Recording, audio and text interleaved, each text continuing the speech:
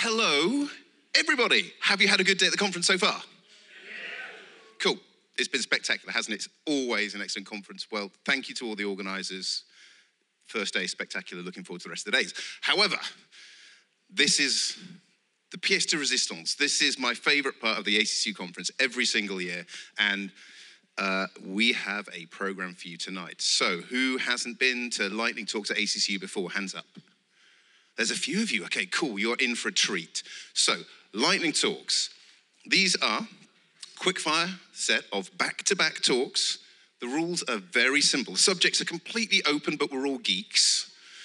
Um, the talk's five minutes tops. Now, I'm very strict about this, and this is part of the jeopardy. If anybody goes over five minutes, I will forcibly eject them from the stage in a manner compliant with health and safety and uh, the code of conduct. I'll push you off the stage this is going to be a lot of fun. We have a wide range of topics. There's absurdity, uh, there's, there's, code, as I said. You're going to enjoy this. And just remember if the person you're listening to is really boring, five minutes' time, you've got someone else anyway. It's all good. Okay, so why don't eggs tell jokes to each other? Because they crack each other up. Doesn't get any better than that. Buckle down. Okay, so this is your order of uh, proceedings for the evening, and we will start this evening with Mr. Dom Davis and autistic, which hurts. Thank you. Dan is up. We jump up here. Uh, can't see slides. Can't see. Yes, I can. We. Okay. Um, I'm, I'm, sure you've all guessed this is autism. Um, it, it, sort of. Um, this is the IPA phonetic thing. If you don't know, um, it takes on the fact that uh, or, as in Australia, not as in gold, uh, sounds very similar to or, and you know, put a little bit of an accent on there, and it, it, it sounds the same. Um, while uh, do, I didn't do, uh, I did uh, logical autism. If you've been really pedantic, and, and, and we like pedants. Uh, I didn't do bitwise autism because I thought that the Unix people among you would think it was pipetism. Um, and, and uh, while researching this, I was trying to look for a BAP emoji because, yeah, that's my brain. Um, so, uh, yes, autism. Um, this makes it uh, a tism. And that's good because I don't want it to be an ism. Uh, isms are bad racism, sexism, fascism, alcoholism. Um, and isms imply ists. So, racist, sexist, fascist, alcoholist. Um, okay, the last one's alcoholic, but it's, it's the exception that proves the rule. Um, so I am not an autist, although I do know my spell checker doesn't complain about that word. Um, I am not an autic. That's, that's not me either. I am autistic. Um, so what? yes, I, I agree. Um, but it turns out that there's a few of us in this industry, and I'm going to guess I'm not the only one in here. We're, we're everywhere. Um, so let's, let's address some biggies. Let's, let's talk about this. Uh, you don't look autistic. Uh, okay. Um, what does an autistic look like? I don't know. I am a level one autistic, apparently. Um, I have no idea what this means. Um, I am also high functioning, although we don't use the term high functioning. Um, may have used Asperger's in the past, but we don't use that term anymore. These, these bad Asperger's is been got rid of. It's all now autism, and high functioning implies a low functioning, so we can't use it. Um, so, uh, level one autism, and it implies that I should autism harder. And, and, and become level two. Um, uh, also, just incidentally, autistic spectrum disorder is the DSM thing for it, uh, and they're, they're phasing this out as well because this is this is also bad disorder. Um, so they have autistic spectrum condition ASC, which I object to.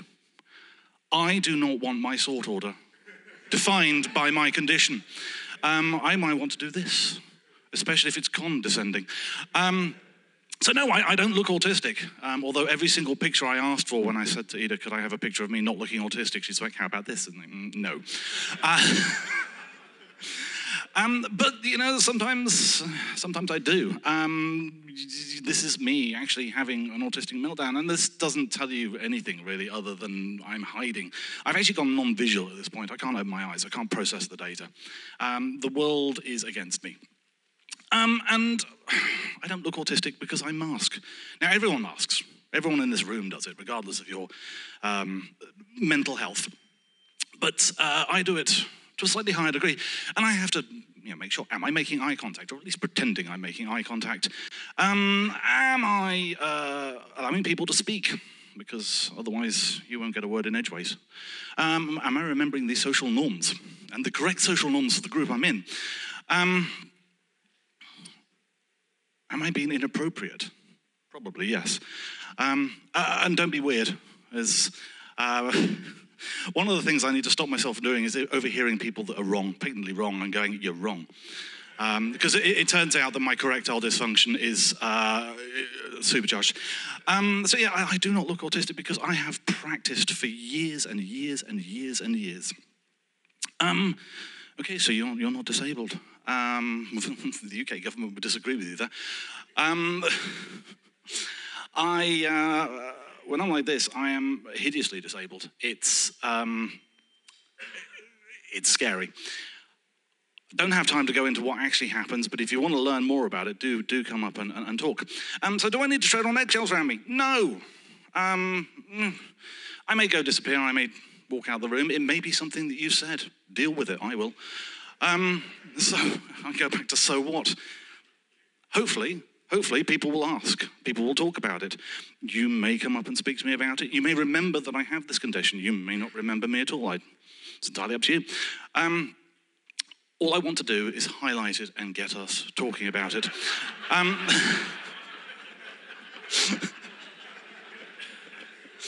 it's almost like I've done these before.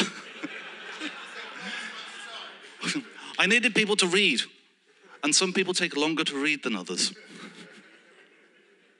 Do come up and speak to me if you want to know more. Don't hurt me. Ah, ah, ah. Thank you, Dom. Excellent. How many tickles does it take to make an octopus laugh? Ten tickles, yes. Next up, ooh, up is down. Next up, we have Jim with Why IT Projects Fail. Oh dear, one too many hands, one too many hands. Right. Before I begin, I'm talking about why IT projects fail, which is taken from this book, which fell out of one of the boxes I was unpacking this morning, uh, selling off the dear late Hubert Matthews's uh, the good bits of his book collection. And I'd like to say a massive thank you to all of you so far. We've still got some books left, but so far for Code Club, we have raised over £410, which is which is a stonking effort. And thank you so, so, so much. This is the book I'm waving around. Hubert gave it to me once to read. And it's got a very interesting list on it, a set of categories of why IT projects fail. And at this point, this stops being a lightning talk, and I give you all the work to do because this is a lightning read. Here we go. We've divided the reasons project fail into various headline categories. This is the list of project conception root causes, or possibly some of them. I can never remember how many slides there are. Oh, good. We've got as far as project initialization and mobilization. Are any of these looking familiar by any chance? Every time I read this list, I'm sitting there going, yep, yep, bloody hell, yep, yep, Seen that one. Here's the second. Did, did that go to the second page? Good, good, good. Keep reading. You're not here to enjoy yourselves.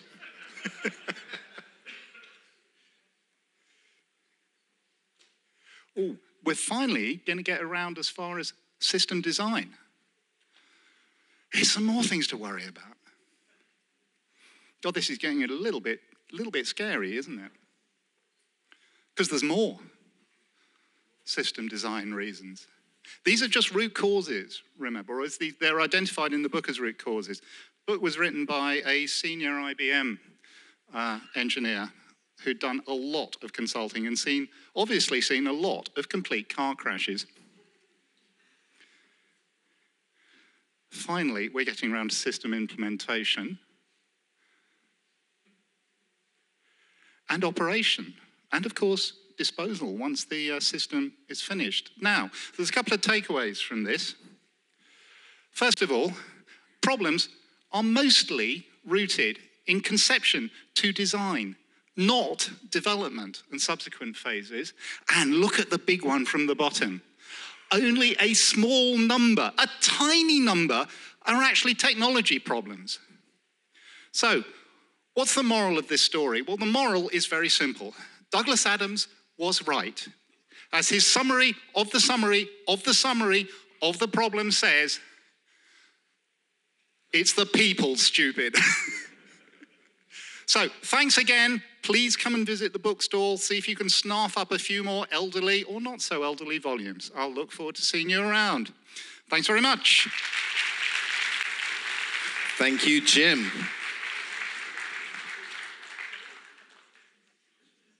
Past, the present, and the future walk into a bar. It was tense. Next up, Kevlin. Where are you, Kevlin? Nobody laugh at him. I don't know where Pete gets these from, but we need to find out where and stop it. okay, where's the uh, magic numbers? Aha, excellent. Right, let's just see if this goes in the right direction. Nope, there it is. Yeah, excellent. Right, algorithm. You keep using that word. No, I'm not talking about the misnamed C++ include header. And if you don't know why it's misnamed, we need to have a talk about what an algorithm actually is. And we're going to do that. I'm talking about this version.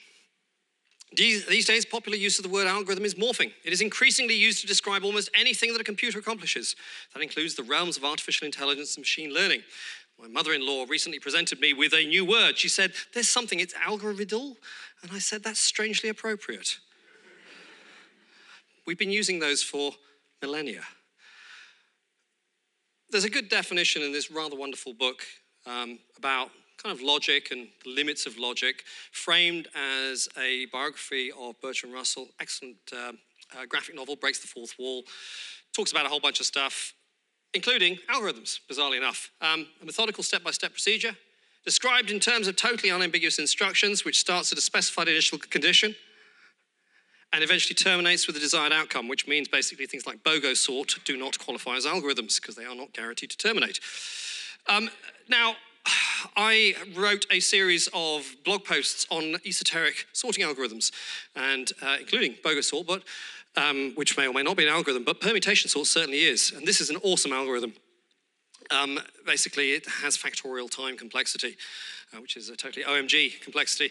Um, in essence, it is an unoptimized search through the permutations of the input values until it finds the one arrangement that is sorted. Awesome. If you do it in C++, it's a very elegant, small um, uh, implementation. If you do it in Python, it's pretty small except for the fact that Python doesn't have a way of determining if it's sorted, but you can solve that. That's easy enough. I've done it in Groovy, where you actually have to fire up a whole permutation generator and count for a special case. Now, why is all this relevant? Well, you know, oh, yeah, again, you also have to implement is sorted. Last week, I was in Amsterdam. I was invited to give a keynote at the Kotlin conference. I pointed out that I am not a Kotlin programmer. I am barely even a Kotlin tourist. And they said, that's fine. We just want interesting stuff. I said, right, fine. And I thought that one of the things I would do is also include a narrative that led to BOGO sort, but included permutation sort. And I thought, you know what, I might as well port that to uh, Kotlin. So I did a bit of searching. And I used Twitter. It might, might well have been. No, I've stopped. Um, so I, my Google fu was failing me. I was finding that I was struggling to find the relevant pieces. So enter ChatGPT. Does the Kotlin standard library have a way to generate permutations of a list? Yes. Yeah, generate permutations of a list using the permutations function. Awesome. Here's an example usage. Excellent. Here's this will output. Huh, C sharp. Curious. Um, Note the permutations function returns a sequence of lists where each list represents a unique permutation, means permutations are generated lazily. This is very specific and also very cool. Okay, so I'm going to write something like this. It's an extension method, permutation sorted. I'm going to iterate through the permutations, and then if I'm sorted, return it. Okay, so I need to find out what does the standard library have a way to check if a list is sorted? Yes, um, you can use the is sorted extension function that is available on the list interface. Awesome. So it's going to be used like that. This is very intuitive and gives me code like that, but this is a bit procedural, so we'll kind of like, yeah, that's really nice. That's really elegant. I like that. That's absolutely fantastic, except for one small problem. It's a complete hallucination. None of the functions that it so confidently described actually exist, even though they are rendered in loving detail right down to the fact that lazy evaluation and sequences correctly within Kotlin are used. So I had to come up with my own, and it looked like that. And I ended up interacting with ChatGPT, which first of all produced a version that didn't actually work. in other words, it returned the same, same list the right number of times, you know, three, uh, you know, n factorial times the same result. I pointed this out, it apologized, gave me another version. Then eventually I said, yeah, but you kind of said you were using sequences here. And so eventually it gave me a sequence version, and I kind of used that and then a better algorithm and ended up with this. So, anyway, the whole point there is the thing you need to remember reality cannot be ignored except at a price. What we have in machine learning is a people pleaser that is a savant and is also sociopathic and easily bored. Okay? It is not required to tell you the truth, it is just required to tell you things that keep you happy.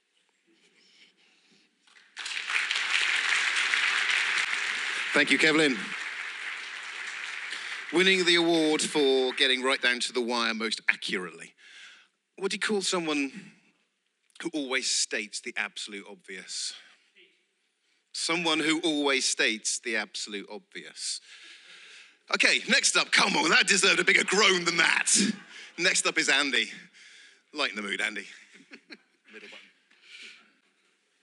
Hello. Um, so I'm going to talk to you about something called spooky action at a distance, which is a phrase that was coined by Albert Einstein. Um, and obviously, he was talking about C code. Uh, so here's an example of spooky action at a distance. You've got a global variable user ID, and then later, when you want to use it, you pluck it from the ether and you use it. That is spooky action at a distance. Uh, but we don't want to use C, we want to use a high level language. So let's have a look at Python. Well, in Python, you can do this too. Um, I should point out that I think this is a bad thing. Um, uh, so in Python, you can have a module level variable um, you can just stick it into maybe not the ether, but somewhere with a name, but it's still a globally accessible thing. When you want to use it later, you just pull it out um, later on. Um, so we don't want to use Python, that's a toy language. We want to use a proper grown up language. Let's try C. In C, well, I mean, we have so many ways to do this, but in C, we have this way singletons. Um, you can throw a value which gets lazily created into the ether, and later on you can pull it out. Um, it's globally accessible by one name, but the key advantage of singletons is that you can that there's only one instance of them, like a global variable. Um, so we don't want to um, stick with C++. C++ is um, difficult. We want something a little bit more enterprise. Let's have a look at Java. In Java, we can use a user info singleton factory producer factory impl, um, put it out of the ether exactly the same way. Um, now, I wasn't sure how to move on to C sharp, but I asked Dom earlier, and he said we could try um, just that we want to use something better. So let's have a look how you might do this in C sharp. Not only C sharp, um, but in C sharp, you can use a dependency injection framework to really obfuscate the fact that you're doing this. So you can, you can throw a value into the ether by type. And later on, you can pull it back out of the ether by type without ever mentioning a name. Um, but we don't want to use C sharp, it's too ordinary. We want to use some kind of something a bit more kitchen sink. So we might try Scala. Now, Scala has a, a new, brand new language mechanism for you to do this exact thing. You can also, by type, throw something into the ether. This is Scala 3, by the way. I learned, it, I learned about it yesterday. Um, you can throw something into the ether by type and then pull it out later on by type. Um, now it's, it's a, a magic argument, uh, a magic parameter that you didn't specify that got magically provided to your function. It's incredibly magic. Um, but, but I noticed there's a lot of young people here, so we should use something a little bit younger. Um, and we're on to the reason why I ended up writing this rant.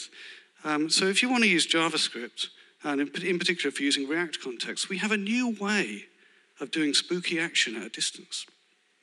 You can create a context wrap up your component in that, and then later on, when you want to use it, you can pull your value out of the uh, limitedly scoped ether that is your context. Um, and I've read the documentation about why you would want to do this.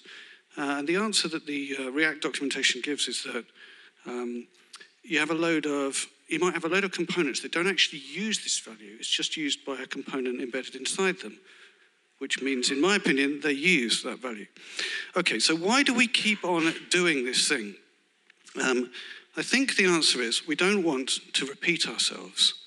And we, what we mean by that is we don't want to um, keep on providing arguments to functions that we just pass on to other functions.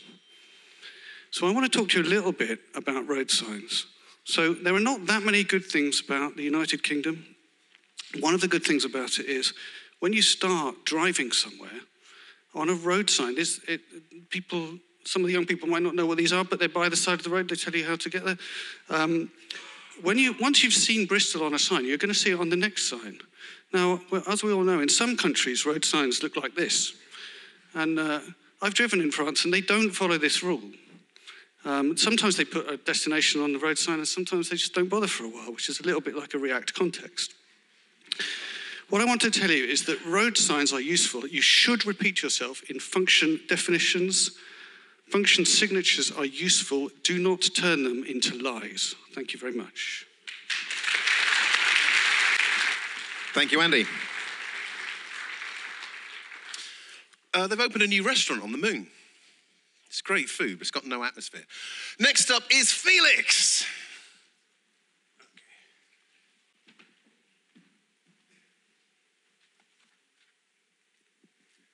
So, yeah, okay. What can possibly be wrong when you join an open source project?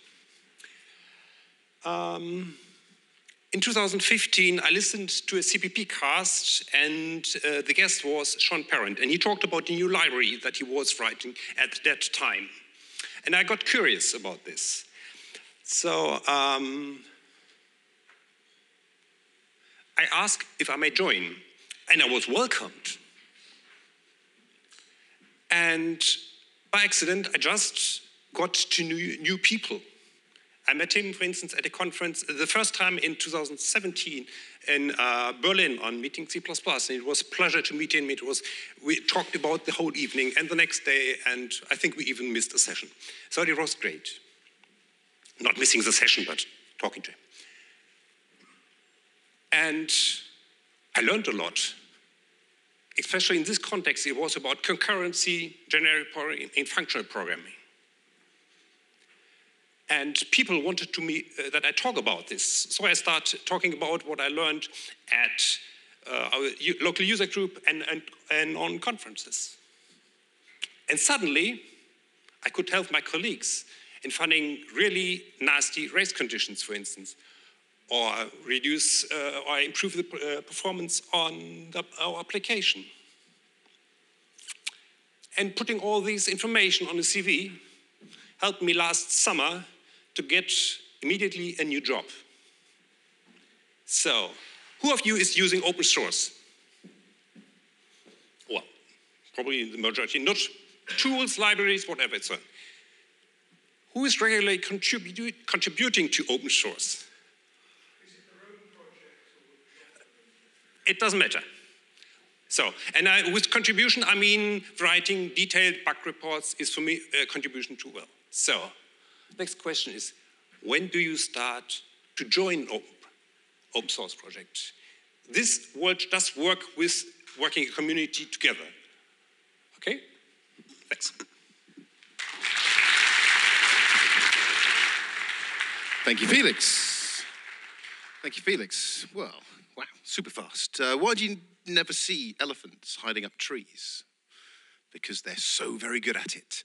Next up, Mathieu. Down, right? Yeah. Down is up.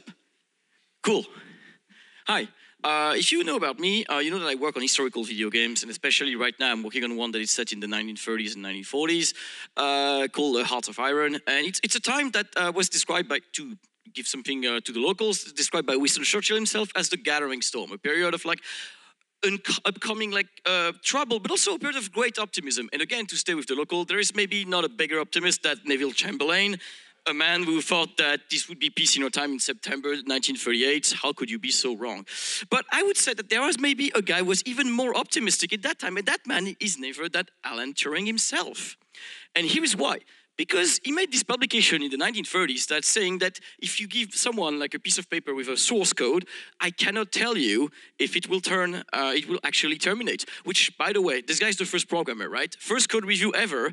It doesn't like give you a thumbs up or anything. Just says, hey, here's a 20-page thesis about how I cannot review this merge request setting a really bad precedent here. I'm just saying. So let's de- debunk this thing. All right, let's let's write something. I, am gonna I'm gonna I'm gonna solve the problem for you right now, live on stage in four minutes. So uh, will this terminate given a given source? And my answer is yes, it will. Don't believe me? I'll show you. Right. So let's start with the basic thing. Like most programs are made to terminate, okay? Like you just do a thing and you return. If you ever use the Unix console, that's the idea. ls, cd, mkdir, it just does the thing and return, okay? Of course, some smartass in the audience would be like, oh yeah, but do we have interactive programs nowadays, right? Like, you know, uh, your, your, notepad, your, your, your, your video games, your, your music player. Like they only return when the programmer actually, like the, the user actually uh, terminates, right? But let's go back to the Greeks, right? Let's go back to basics. We know from Socrates that man is mortal, and you know, he doesn't have time for this shit. So obviously, at some point, he will get that pop up, and nobody clicks on the bottom one. Don't lie, I know, you will click this one. Okay, but what if the user is inhumanly patient? Okay, like this guy is just here to just make me like look like a dumbass on stage. He's like, no, no, I have, I have wisdom, I have, I have, I have uh, attained enlightenment. My goal in life is to prove Mathieu wrong by just infamous, uh, in, in, um, pushing and waiting until this program not terminates. And just just prove me wrong right? Okay sure but bugs okay? Bugs bugs happen right? This is this is like the biggest cve ever. Like the the, the one i like here the one that c++ for example or language of choice here uh, might be running into. So you know it doesn't take much right? Like a one byte memory leak is enough for your program to eventually crash because you run out of memory but you know, you know that will happen. Like bugs. Okay, this one is kind of convoluted, but bugs. They're a thing, right? Don't don't tell me you never had bugs. But okay, what if a programmer is a genius, right? Like he has the brain power of like 10 million people, writes a very simple, perfect program that will never crash. Well, sure, he does that, and then he goes to bed, and then the next morning he's greeted by like this nice pop-up, like, hi, we've made some, yeah. and this is uh, this is uh, AI generating like Turing crying in front of his lab. It's a it's a great picture. Uh, okay, right. But what, what what if Turing or whatever whoever he is uh, also remembers to disable Windows updates? Just just say okay, cool. Uh, the next thing is power supply, right? Computers need electricity to run, and you know, uh, just just not stating anything special. But let's say your electricity provider realizes that there's two people on the same name and the same address by mistake, and just decides to shut down both, solve the problem, and you wake up without power. Like that, that would never happen, right? But what if it does, and then you run out of power? Well, you have a solution too, right? You can buy one of those things, and it will just keep power running, so you can uh, see the experiment going on. And we could continue on with hardware failures because this is obviously the next step in our in our demonstration. But we have the cloud nowadays. We have virtual machines, so you could just make the thing run on a virtual machine and then copy it in the cloud. Make sure that there is always at least one machine with a safe state that can continue to prove that our program will run, right? So this time we solved it, right? It's, it's, it will execute forever, okay? Well, let's go back to Socrates again. Man is mortal, right? So at some point, the observer will die, and nobody, uh, people will forget about this program running, and nobody will be there to see that it actually terminates. And if a program uh, does not terminate, and there's nobody to see it, does it actually terminate, right? That's it's a right question. But you know, we can solve that too. We can build a cult that will just be like there to observe this computer. They don't know why because it's been a thousand years, but they're there to observe that the computer actually terminates or doesn't. And then we create like generation ships or whatever to make sure that even if the Earth blows up, they can still continue to do that in space. That's great stuff. So this time you will execute forever, right? No, because there's this thing called the heat death of the universe, and eventually we're all going to die anyway, and the program with us. So yeah, guess what? Turing was wrong. Okay, like your program will terminate unless it runs forever without any bugs. It's executed on redundant hardware in an everlasting galaxy. It is observed by a very patient cult that survives through generation and remembers to disable Windows updates. Thank you. Thank you, Mathieu. Awesome. I call that catastrophizing. Um, we've all heard of Murphy's Law, right? Whatever can go wrong will go wrong. Have you heard of Cole's Law? It's like thinly cut cabbage. Next up is Roger with Why Wikis Are Bad. And I have no slides, so there you go. Um, my title is Wikis Are Bad. Who agrees with me? Oh, one or two people do already. Jolly good. Uh, I, I move around a bit as a contractor, and you turn up on a new project and you ask a question, and they tell you, it's on the wiki. Where? Now, if someone says it's in the source code, how do you find it? grep. Who uses grep? Yep. How do you grep a wiki? There's a search box that finds pages that may once have had some vague, tenuous connection with the word you put in the search term. It's on the internet. Who knows about these things called search engines? Yeah, I, have I've heard Ask Jeeves, remember? Ask Jeeves. Alta Vista, who uses Alta Vista? Yeah, yeah. Uh, nowadays, we all use something else. I won't mention it because there are other alternatives available. But we know how to find things on the internet. How do you find things on a wiki? You ask the person who found it last, and they point it to you. That seems to be the only way. Now, if the documentation is on the wiki, you may stumble across a page that refers to what you're asking. There's probably more than one such page. How do you know which is the right one? The problem is with wikis is everyone is responsible for the wiki, but nobody actually does anything with it. They add their own page. How do you know which is the right page? You don't. Well, the one that was modified most recently. But it might be that someone added a comment saying, don't use this page. It's now the most recently edited page, but not the right one. So, what I want is a wiki that the pages gradually go grey. And so you know that this page, no one's loved it for quite a long time. It's probably not worth worrying about. So, my view on, on wikis is a short-lived wiki might, might be good. A long-lived wiki, it needs curating, and nobody seems to know how to curate a wiki. So my experience is that despite being awfully well-meaning, wikis overall are bad. Thank you. Thank you. Potentially controversial. I call that a dad rant. Talking of which, though, I had a great childhood. My dad used to put me in ties and roll me down hills. Ah, oh, those were good years. Next up is Jorgen. I'm sorry. Middle button. Uh, no, no slides. All right, so I have to preface by saying I stole all of this content. um, so thanks, James, Iry, and his contributors. So in 1801, uh, Joseph Marie Jacquard uses punch cards to instruct a loom to weave Hello World into tapestry. Redditors at the time are not impressed due to the lack of tail call recursion, concurrency, or proper capitalization. Later on in 1842, Ada Lovelace writes the first program. She is hampered in her efforts uh, by the minor inconvenience that she doesn't have an actual computer to run her code. Enterprise architects will later relearn this technique to program in UML. In 1936, Alan Turing invents every programming language that will ever be, but is slightly hampered by the British intelligence to be a 007 before he can patent them. Uh, in, also in 1936, uh, Alonzo Church invents every language that will ever be, but does it better, sorry. His lambda calculus is ignored because it's insufficiently C-like. Uh, this criticism, of course, occurs in spite of the fact that C hasn't been invented yet. In the 1940s, various computers, I use that word, word very generously, are programmed using direct vias and switches. And the engineers, they do this in order to avoid the tabs versus spaces debate. In 1957, John Backus uh, invents Fortran at IBM. There's nothing funny about IBM or Fortran, but it is a syntax error to write it without a tie. In 1958, John McCarthy uh, invents Lisp. Due to a high cost, uh, due to depletion of uh, the post-war depletion, sorry, of strategic parentheses reserve, Lisp never really becomes popular. It does, however, remain an influential language in key algorithmic techniques such as recursion and condescension. After losing a bet with L. Ron Hubbard, Grace uh, Hopper and several others invent the capitalization of boilerplate-oriented language. Years later, in a misguided sexist retaliation against Admiral Hopper, uh, uh, Hopper's COBOL work, Ruby conferences frequently feature misogynistic material. In 1964, um, John Kemeny and Thomas Kurtz create BASIC, uh, an unstructured programming language for non-computer scientists.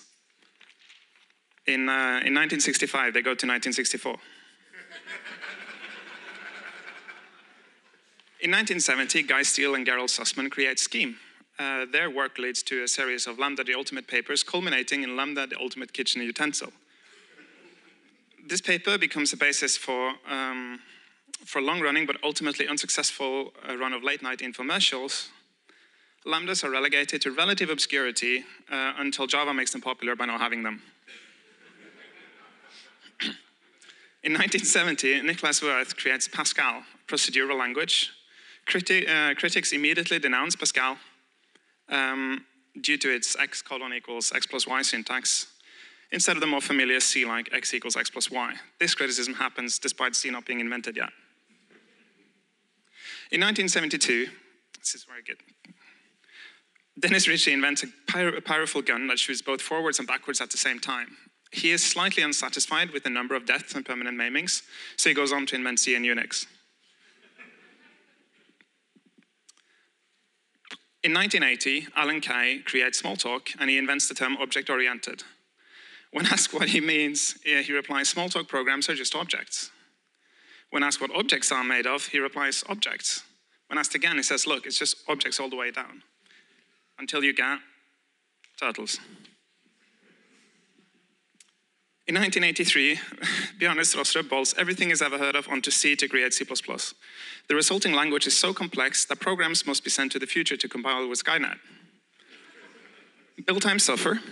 Skynet's motives for performing the service remains unclear, but spokespeople of the future has said, there's nothing to be concerned about, baby, in an Austrian accent monotones. There's some speculation that Skynet itself is nothing more than a pretentious buffer overflow.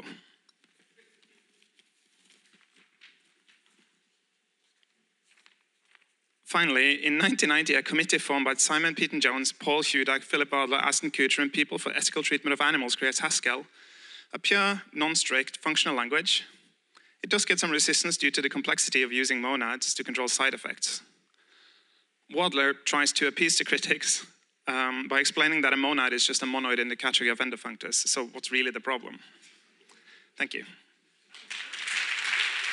Go see the monad talk. Thank you, Jorgen. And I apologize for destroying the title of your talk on the slide. It just was too long and didn't fit. You're enjoying my jokes? Good. I mean, I've got a bunch of them about umbrellas, but they go over your head. Um, next up is Frances. Down goes up. Not been having hardware problems today or anything.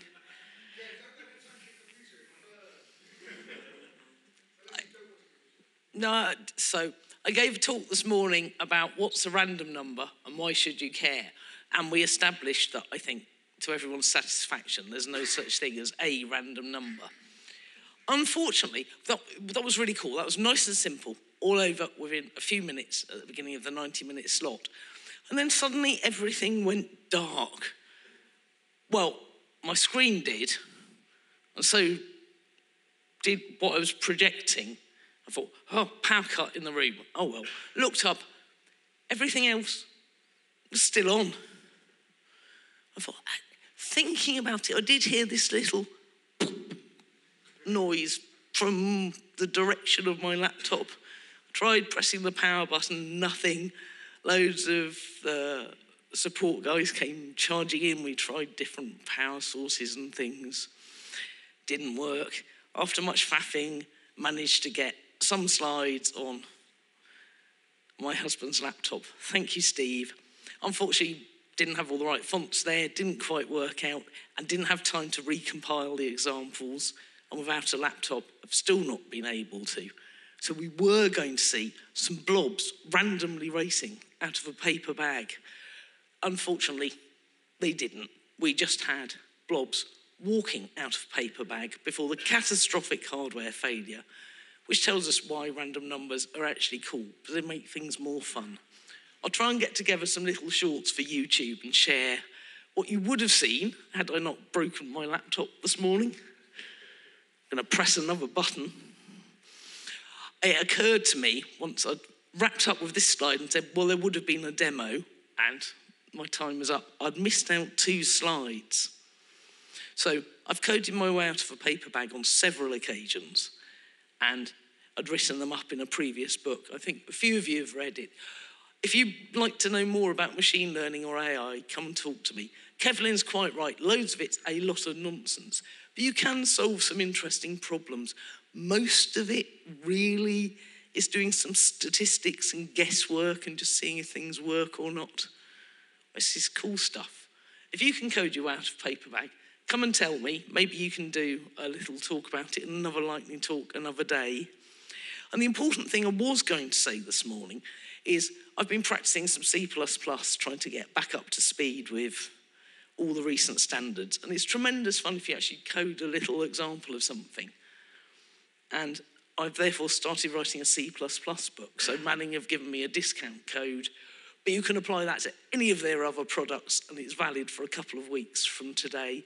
You can buy my book if you want, and there is a chapter in there on how to code your way out of a paper bag, of course. But there are loads of other books up there, and I just wanted this opportunity to share the two slides I forgot this morning due to adverse circumstances. And I haven't broken Pete's laptop, so there we go. Thank you, Fran. Yeah, I'm very glad you didn't destroy my laptop. Uh, what do you need to make a financial advice for you? Financial advice. What do you need to make a small fortune on the stock exchange? A large fortune, yes. Very good. So, uh, finally, we have, and I shudder and hesitate whilst we move furniture around. We. Uh, no, no, I don't need to tell another joke. Uh, we're going to finish off this evening's proceedings with Mr. Chris Oldwood, Mr. Dom Davis, and I apologise in advance. Are we on? Are we live? Don't, uh, oh. You on? Okay, fine. Thank you. Right. Welcome, everyone, to another round of ACCU Mastermind 2023, hosted by me, Domus Domnison. And can I have the next contestant up on stage, please? Round of applause, everyone. And our next contestant is Uh, Ronnie Corber, a finance, uh, a, a freelance software engineer based in Cambridge. And your chosen specialist subject? Uh, failure modes in software engineering from 1968 to the present day. Welcome, Mr. Corber. You now have four minutes to answer as many questions as possible on failure modes in software engineering, starting now. In IBM parlance, an ab end is a shorthand for what kind of failure? Abnormal end. Correct. The unscheduled disassembly of Ariane 501 in 1996 was caused by what software malfunction? Uh, integer overflow. Correct. The public display of a software system undergoing failure is more commonly known by what popular name? A Kevlin Henney. Correct. In message queuing systems, what is impossible to guarantee? Exactly once delivery. Correct. Globally, what is the largest contributor to machine downtime? Uh, pass. Okay. Which law, taken to the extreme by Excel's date passing logic, has seen the genome? Uh, Postel's. Uh, be liberal in what you expect. I'll accept that. In message queuing systems, what is it impossible to guarantee? Uh, exactly once delivery. Correct. what do you call baffling code that uses error handling to control program flow? Uh, exceptional. Correct. Which technique? Which technique is commonly used to avoid failures caused by processing messages multiple times? Uh, idempotency. Correct. What confusing BIOS error message was commonly displayed at boot time when no keyboard was plugged in? Uh, press F1 to continue. Correct. In UDP, packets larger than the maximum segment size are subject to what potential issue? Uh, fracket fragmentation. I'm sorry, I can only accept the answer I have on my card. Oh, uh, packet fragmentation. Correct. Which language doesn't even, uh, which doesn't even support the pointers, suffers from them continually being null? Java. Correct. Which computer science term is used to describe multiple processes that are blocking each other from making any progress? Uh, pass. Which, uh, what technique is commonly used to avoid failures caused by processing messages multiple times? Idempotency. Incorrect. The answer I was looking for was your previous one of idempotency. The visionary writer Douglas Adams provided what advice on error handling to future Golang programmers, despite the language being not being invented for another 40 years? Uh, don't panic. Correct. In VBA, what technique is commonly used to mask errors in your own code, thereby, allow, thereby allowing you to pass the blame onto somebody else's code? Uh, on error, resume next. Correct. Which technique is commonly used in distributed systems to avoid waiting indefinitely for a response? I'll repeat the question. Which technique is commonly used in distributed systems to avoid waiting indefinitely for a response? Gonna have to hurry you. Okay.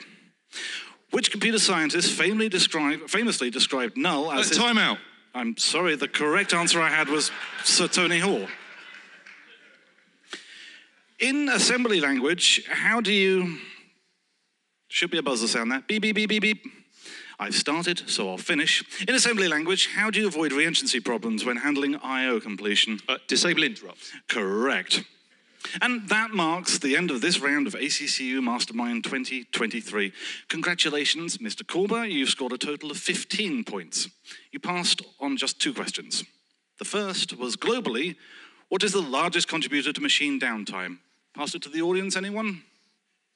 The correct answer is indeed installing Windows updates. Uh, the second was uh, multiple processes blocking each other from making progress is known in computer science as what? Now, I'm sure you'll remember it's a deadlock. Uh, I think you'll find it's a live lock. No, my answer card has a, a, a deadlock. I beg to differ. I think you'll find it's called a live lock. Uh, no, no, I, I, I think you'll find it, it's actually a, a, a deadlock. Uh, no, I think your question card is wrong. It's definitely sounds exactly like a live lock. This question card has been put together by a bunch of experts, and they have said that it is a deadlock. I, I, well, I, you're wrong. I, I, I, I have to stop need- you there. are and- gonna- well, you need to accept I'm right. I have to stop you there and ask you: Is it the five-minute argument or the full half hour? I think that's another talk.